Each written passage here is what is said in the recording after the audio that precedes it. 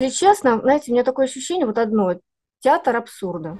Так жены мобилизованных отреагировали на прямую линию Владимира Путина. Перед ней они организовали флешмоб, массово направляли свои вопросы. Но ни на один из них российский президент не ответил. А многие мобилизованные ждали хотя бы хоть чего-то, хоть как-то. Они а, вообще в шоке о том, что ну, умолчали как смогли. Это не первая попытка родственников мобилизованных достучаться до властей. Осенью они впервые попробовали выйти на пикеты с плакатами и тут же привлекли внимание полиции. Документы можно То, что пелена с глаз вот, уходит, э, э, понадобилось это время для преодоления фактически вранья. Э, понять, что Путин врет, государственная власть врет, Шойгу врет. Вот, и вот это, наверное, трудно было простым людям осознать, э, которые всю жизнь жили и доверяли власти, и не, не влезали в политику. Большинство жен мобилизованных все же предпочитают сохранять анонимность. Татьяна рассказала свою историю по телефону. Она из Саратовской области, и у нее по мобилизации забрали мужа и брата. За последний год они ни разу не были дома.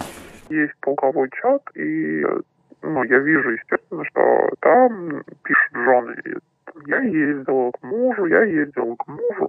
То есть, но они из других подразделений. А в нашем подразделении такого нет. То есть вот несколько рот в нашем подразделении, и никто не хочет увольнения, ни разу они не были, никто.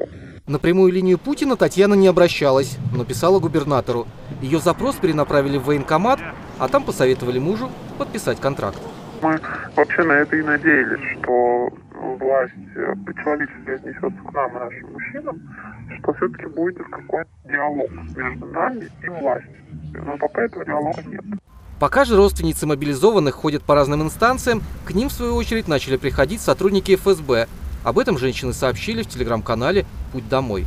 Это все вот начинает кипеть, так сказать, под закрытой крышкой, и тут, тут возникает вопрос уже, что победит. Либо выдержит эта кастрюля, э, она слишком стальная и очень крепкая, либо не выдержит. И это уже очень трудно предсказать.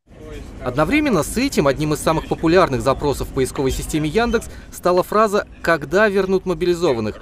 Начиная с сентября число таких запросов выросло в полтора раза.